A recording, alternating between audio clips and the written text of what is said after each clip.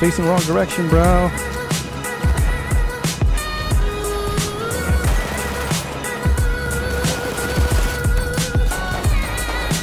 Woo, that's how you flank, and then I'm getting barbecued. That's how you flank them, baby. YouTube, welcome back, everyone. It's your boy Rump, and I've got two words for you Fort Vaux. Alright, and we can now play as the French army, so hopefully I can give you a little French spin on it. Let's say that in French Forte Vauxay.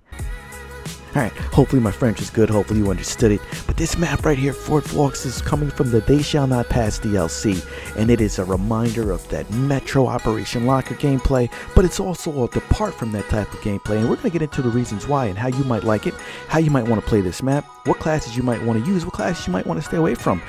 So check out this gameplay. Hopefully you like my review. Don't forget to hit that like button. Don't forget to hit that subscribe button so you can join the gamer family here. Let's get into the gameplay. DICE have still not given us a release date for the They Shall Not Pass DLC, but we know it's coming soon because they did say sometime in March. Also, what we are going to get is four new maps, new game mode, new weapons, the French army, but one of those maps is Fort Vaux, and that's the map I got my hands on, I was playing it, and this is what the map we're going to review right here today. In this video, you're going to see why Fort Vaux might be the map for you, you may have to change up your gameplay style, certain things the map has, certain things it doesn't, and what type of gameplay you should expect once this map releases. Before I actually got my hands on the gameplay and I saw a couple screenshots of the map, I just basically said ah, I, I brushed it off as another Operation Metro from Battlefield 3, Battlefield 4, Operation Locker from Battlefield 4, if you're familiar. Those maps basically took place in a subway or, or in a uh, in a prison, and they were just really, really tight close quarters gameplay, really action packed gameplay with a lot of grenade spam, a lot of rocket spam, and it just continuous. It was like a frag fest. And if you really like those maps, like I really love those maps, I'm a huge fan of close quarters gameplay, you will love this map. If you hated those maps, you might still love this map, and we're going to get into why. First of all, if you look down from a top down perspective, Operation Metro and Operation Locker, of course, the, the capture points are in a linear fashion, so they're basically in a straight line. What this led to was a lot of tug of war moments where one team is pitted against the other and they just headed off at one point and it really boiled down to how many tickets the other team had left and how many medics could revive people fast enough because the flank wasn't really available. On those maps you didn't really have much option for flanking. On Operation Locker you could go out in the snow for a few meters but not really far and in Operation Metro you really didn't have much of a flank ability. In Fort Vaux, flanking is key.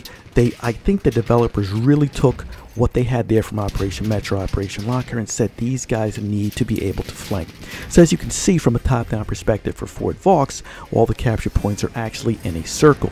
What does that mean? It doesn't mean you're necessarily going to be able to automatically flank, but the way they set up the map, it basically rewards you for flanking.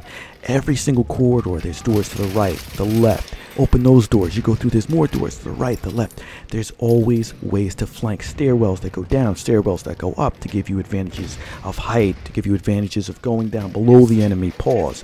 The flank is there. So do not brush this off. Do not brush this off. It's another Operation Metro, Operation Locker, and think that it's only going to be no flanking ability, just a straight line. It is not that at all. So I think they did a really good job of implementing the flank in this map a great job and a great amount of detail was placed into making the map as immersive and as realistic as possible. Not only do you have the really, really good graphics, uh, these darkly lit corridors, uh, but you also have the noise and the sound that draws you in. You can hear echoes of explosions, enemy screams, your teammate screams. They echo through these different corridors, and they all sound different. Go out to an open corridor, you might hear echoes to your right. You'll go through those doors to the right, and there the enemy is. So sound was key in this uh, in this map, and I really found it playing with sound was an advantage. Making sure you have that surround headset, making sure you either have a sound card or some way to get 360 sound out of the gameplay really, really might help you out here. Also, when it comes to the classes and class gameplay, this is a fast gameplay mode map. This is not a map where you're going to want to sit down and get your get your Cheetos out, your sniper rifle out, and sit behind the couch. No, this is a map where you're going to want to sit up, get into the gameplay because around every corner there's an enemy. Around every corner there's a grenade getting thrown. Something you need to pay attention to. So, as far as classes go, I played a lot of assault on this one. A lot of assault because I've got the Automatico or the MP18. You need to remember fast-paced gameplay. So fast-paced gameplay means shotgun, close quarters, those type of weaponry. There were a lot of people playing as support, which I also played as support as well. Support was actually good for suppressing those long corridors, for suppressing those hallways. As far as recon goes, I don't know if recon is really going to be your thing in this map. If you only play recon, this might be the map you may want to skip over. Now keep in mind, I only played this on Conquest. I do not know if Operations mode or Frontlines mode or if the other modes will give you a much larger outdoor area for the map, so keep that in mind as well. But there wasn't too much outdoor area going on in this map uh, as the way I played it. Medic also is obviously a huge class to play on on this one, so keep those in mind as classes are related.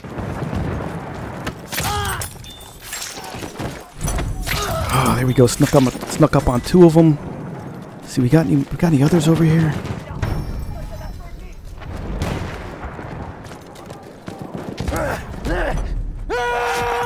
Here we go, another one. Oh. Got him! Snuck up on four of them, that was fun. If you love the vehicles of Battlefield 1, you may not find Fort Vaux as the map for you. Like once again, I only played it in Conquest, but there were no vehicles. Now, it did say on the loading screen that the Behemoth would be arriving uh, if one team was losing by too many points, and we're familiar with the airship Behemoth or, you know, the Dreadnought, things of that nature, but I don't know.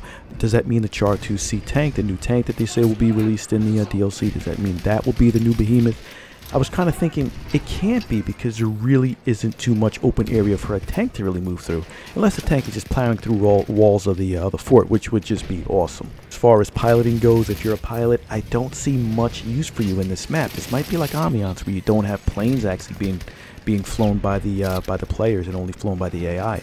I don't know, but if vehicles are your thing, this may not be the map for you as I tested on Conquest. This is more of an infantry-focused, infantry-heavy map.